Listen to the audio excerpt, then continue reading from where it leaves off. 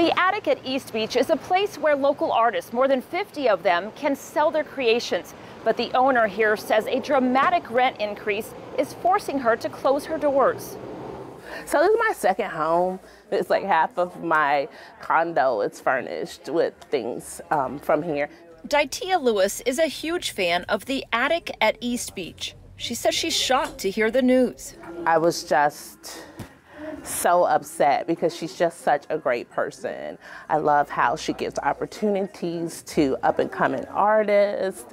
Um, she's just so fair with her prices. But it's almost time to renew the lease, and the owner says the increase would be crippling. I expected the rent to go up some, but to go up $1,300 a month is really excessive. I mean, I just can't, I can't afford it. It's very heartbreaking because I've put a lot of work and effort into the shop.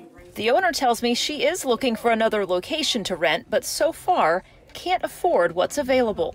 This grandmother said it's tough to see a business make it through COVID only to close now. It's our, our place to go. Like to, today, we were there looking for Mother's Day gifts for their mom. I hate to, to see this kind of stuff happening to people. And in Virginia Beach, a similar shop Cottage Lunacy is closing its doors this weekend after clawing its way through the pandemic. For us, uh, we just could not catch up from COVID. We were closed for those 10 weeks and um, didn't have any sales. This past January and February were the slowest ever, and it was just, it's hard to pay the rent. And here in Red Mill Commons, the Cottage Lunacy will have their last day tomorrow from 10 to 6, but the owner said she plans to keep their website up and continue to do mobile crafting workshops. In Virginia Beach, Angela Bohan, News 3.